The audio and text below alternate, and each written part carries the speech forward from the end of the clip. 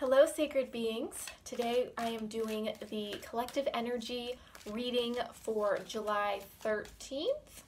Yes, maybe? Yes, I believe it's the 13th. um, I'm going to be looking at what Spirit would like to show us, um, what it is we need to be focusing on, our shadows, etc. If if this resonates with you, please comment down below. And if you're looking uh, for a personal reading, you can head over to my Instagram at Soul Journey Magics and go to the link in the bio, and you can then go to my Etsy and um, and purchase a reading. Uh, the cards are falling all over the place. Today I'm using the Bonefire Tarot. Now the Bonefire Tarot for me is a very special deck. Um, it brings out very clear messages. It it brings out things. Um, and it usually very much tells me when it wants to be used. So today, I'm, you know, usually I use the Starchild Tarot, but today I'm using the Bonefire. So we'll see what she has to say to us. I'm very excited. Don't forget, if you like to see these daily readings, uh, subscribe to or like whatever platform you're seeing it on. I try to post these every day. Um, I will not be posting them next Thursday through Monday just because I will be on a spiritual retreat. Um, so I will not be able to get online. Um, so be aware of that, but I will be back after that. All right, two cards already fell out, so I'm going to read those as well. How are you all doing today? Comment down below. What's going on for you guys? What are you grateful for? What's going on? All right, here we go. Hmm. Ooh, there's another card. All right, there we go. Kitty, kitty. Ooh, total card. Okay. These readings are getting bigger and bigger every single day. All right, so first I am going to flip over the main card. Today, the main energy is the Lover's card. Very interesting. What's the card that came out with that? Ace of Swords. Okay, so I feel like this is pretty clear. Today is about cutting the bull in our relationships, removing the things that are not serving anymore, um, deciding on what we want in the relationship. Um, and this is really about thoughts. So, what is not serving you within your thoughts in your relationship? Are you being honest with yourself about the relationship? Are you buying into things that aren't working for you? So, I really feel like whatever this is with the lovers, what is that looking like? Now, this for the people who are not in relationships, this could be any relationship um, that you feel a close bond with, but even more so with you. Where are you not cutting the bullshit with yourself? Um, and so for people who are in a relationship, I do feel this is very much for your relationship, but for people who not who are not, look at how this can apply to you. What is going to help? Oh, I'm sensing this one. Okay, so the main and interesting, the main energy for the whole reading is the two of swords in reverse. So again, this is not this is we want to be making choices. This is something we're ignoring. We're not sitting down and becoming present with the intention we have um, for the relationship, but what is no longer serving us. So what's going to help us is two of wands. Look at that, making choices, doing things, going out, um, taking action. So this is not about sitting down and just like letting stuff happen. This is about we're recreating our relationships right now. We are rededicating or making action towards what we want for our relationships with our partners and with ourselves. And what's going to hinder us is Five of Cups.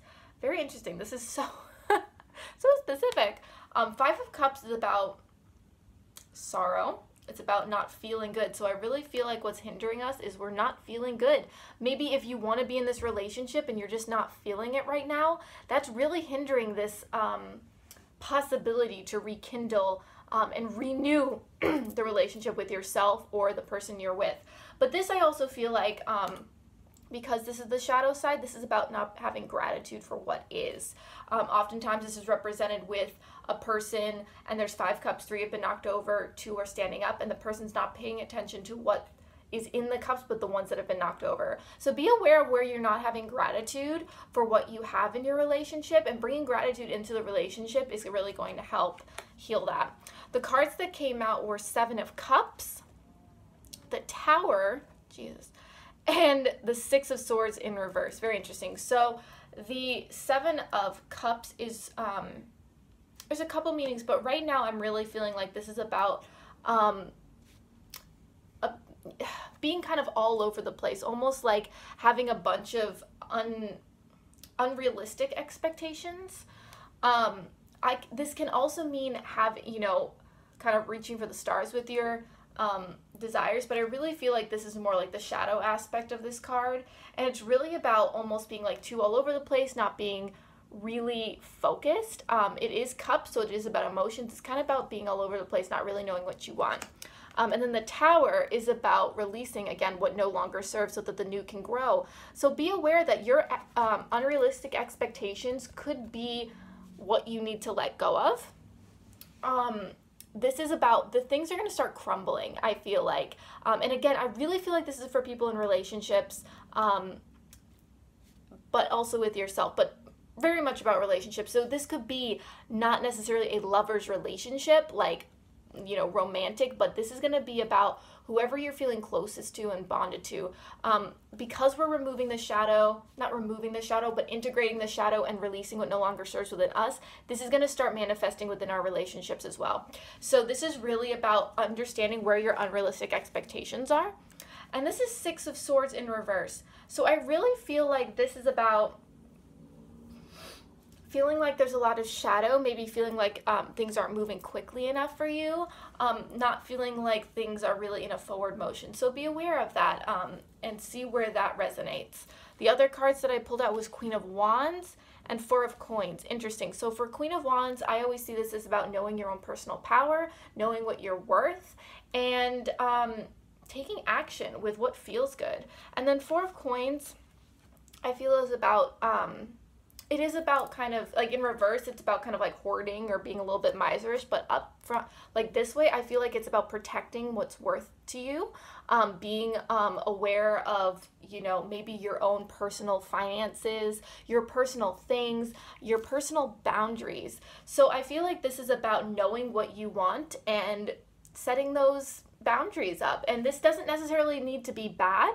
Um, this is just about knowing what's good for you. And coming out here with the Queen of Wands, I really feel like this is knowing what you're worth and being protective of it and knowing that you deserve to feel good.